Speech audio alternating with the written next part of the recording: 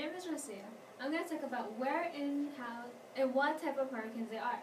Hurricanes are also called tropical cyclones. They are normally formed over the Atlantic Ocean or Eastern Pacific Ocean. Hurricanes are also more active in the Western Pacific Ocean. I got this information from NASA.org. 1 and 2 is small damage. 3 to 4 is little more damage. And 5 is more damage. Think of 5 as how it happened in Puerto Rico, where they still have no light and they have no.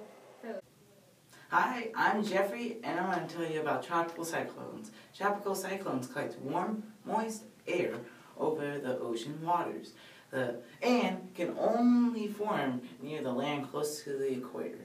The air moves up and away from the land, so there's less warm air close to the surface. And I'm going to tell you where I got my site from, nasa.org. Moving on to HOPE. And three, two, one.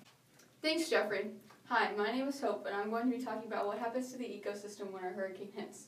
What happens to the ecosystem all depends on the area of where the hurricane hits.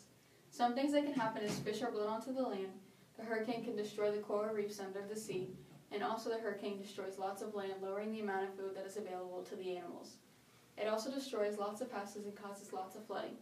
It also can injure lots of humans. I got my information from thescientist.com. Now on to Aubree. My name's Aubree. Being in a hurricane, you need to have safety precautions. You need food, at least a gallon of water, a first aid, a charger, and a place where no windows are. Do not pick a basement because of flooding.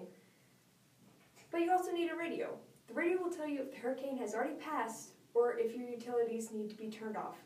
Stay safe and don't be blown away by, blown away by this information. Roll credits.